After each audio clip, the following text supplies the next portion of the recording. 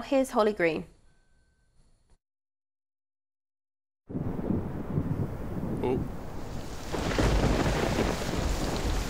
Ooh, Costa sponsors the local weather on Good Morning Britain. Ooh.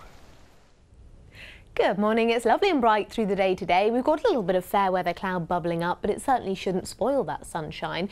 A dry picture, a fairly light breeze as well, but the air itself is cooler than it has been of late. So highs only 13 or 14 degrees, but feeling pretty nice, I think, for the time of year. Looks like a lovely October day ahead. Fred is here just before two with your lunch news. Now back to Ben and Ranvir.